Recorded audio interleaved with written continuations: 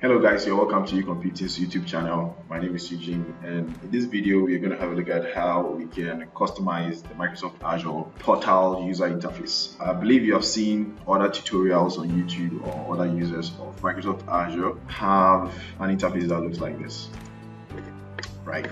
And sometimes you're wondering, is it because of the subscription that is making the user interface look different or how are they able to do this? It's just the appearance settings that have been adjusted on the Microsoft Azure portal. The portal is normally used to manage all the resources that we have on Microsoft Azure, but sometimes some users feel like the default blue and white interface is too bright for them, so they prefer a darker user interface design. So Microsoft included a couple of themes for Microsoft Azure portal. So if you want to apply, the only thing that you need to do is that when you log into your Microsoft Azure portal, we have some settings option over here. You can click on the settings option here, and then by default it brings your directories and subscription information. But there is an option here for appearance plus startup views. So when you click on this appearance plus startup views, you get the option to customize the user interface. Behavior of the portal menu by default flies out when you click on it like this, right? But you can dock it to the side using this option over here by selecting docked and then go apply. When you apply, you realize that the Azure portal menu doesn't fly out only when you click on it, but it gets actually docked and stuck to the side of your screen. And then for some reason, if you don't want it to be appearing like this, after you docked it, you can just hide the portal menu by just clicking on this option over here to hide and reopen it okay? If you think the docked menu type is not comfortable for you anymore you can switch it back to flyout and go apply and then just hit it but I prefer this one because it kind of gives me a view of all the services that you can run on Microsoft Azure. So how about the colors? You can switch it by changing the themes over here to maybe this one over here. And it turns it dark for you or you can switch to the light theme. And then we have the dark theme. You can click on dark theme over here. When you apply it goes totally dark.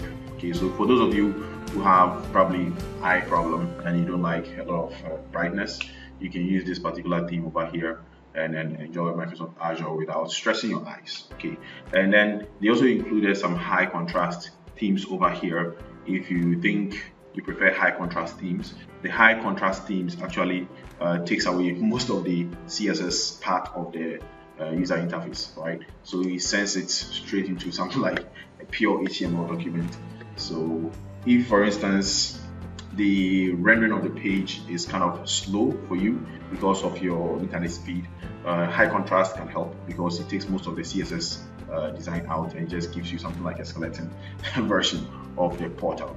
So for instance, when I click on resources over here, you can see there is no major colors in here. It's just a plain HTML file.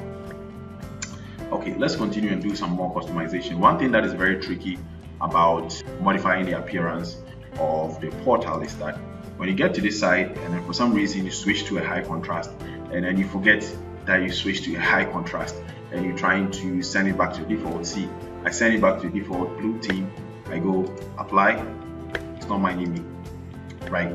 So you have to remember that if you want to try the the high contrast theme, after trying it out, if you want to send it back, you have to switch it to none so that the user interface version that has all the CSS code in there that makes it look beautiful will come back. If you forget to switch it back to none, then the high contrast theme section uh, you probably will need to call in an expert to come and help you. So please don't forget, if you try the high contrast and you want to send it back, please send it back to none, and then you can get a chance to try your hands on the other themes. Okay, and then we also have an option for if you want your Microsoft Azure uh, startup view to start from the home section of the Azure portal or the dashboard. Okay, there's a difference between the home page and then the dashboard. The dashboard looks like this okay the dashboard can also be customized due to the resources that you're using on Microsoft Azure. You can monitor your virtual machines here, your storage account, your database instances